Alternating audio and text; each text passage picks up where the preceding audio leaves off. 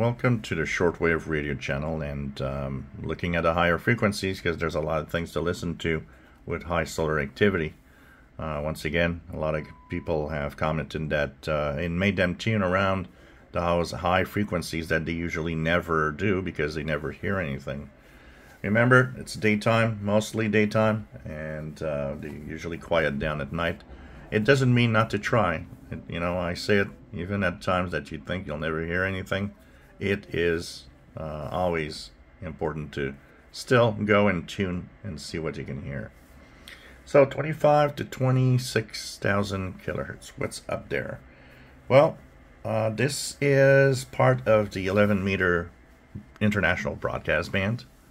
The other part is mostly utilities. And so it starts with 25,000. You, you could hear WWV in Colorado.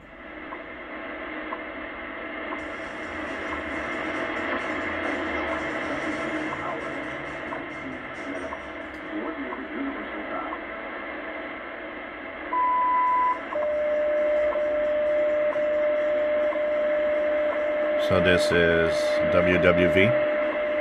It's mostly in the winter that I hear WWV on those frequencies uh, in general. And then you'll have the rest of the band, so what you could do is um, do it in upper sideband for the most part.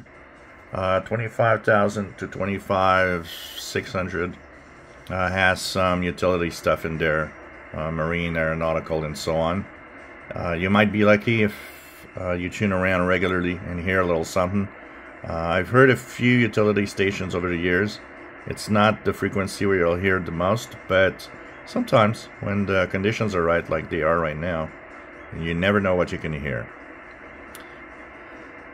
And of course, as you move up, you'll notice that you'll get into the uh, 25, around 25, 700, I'd say. Uh, it's the start of the International Broadcast Band.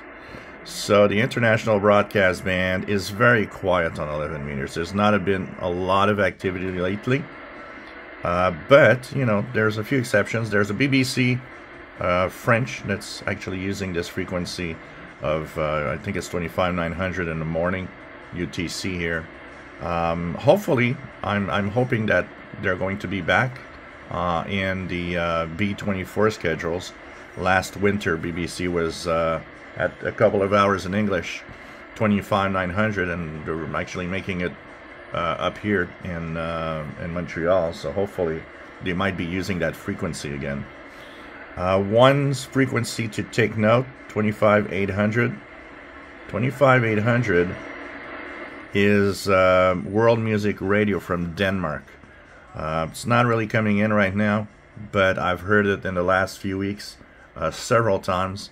So it's a low-powered uh, broadcaster. It's there 24 hours a day, but 25800 might be uh, something you monitor regularly, and be surprised that you could hear the uh, the uh, Danish world music radio station. And of course, the international broadcast band continues all the way to 26100. Uh, like I said, not a lot of stations today using this band. there used to be a lot more. Uh, Voice of America used to use this uh, in the 70s, 80s. Um, Radio uh, RSA in South Africa, uh, BBC Radio France would use these frequency ranges too. Uh, but you know, it's it's a quiet band, but it's just go tune around. You never know. Um, the upper part here is also populated with FM to transmitter links. Uh, so if you check it out and you have FM mode, um, you might sometimes hear a uh, studio to transmitter FM link. Uh, there used to be one regular um, a couple of years back in on 910 here, 25910 was uh, one in Dallas, Texas that was transmitting.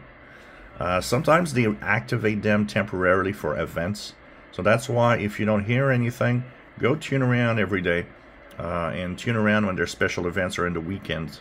You might be surprised that one pops up that's you know activated just for uh, a special event and it will propagate. These are pretty low power in general so uh, they're not as easy to listen to but you never know. Uh, remember the good old days of uh, uh, WFLA in Tampa Bay, Florida, that was on uh, 25800 in FM mode uh, back in the 90s.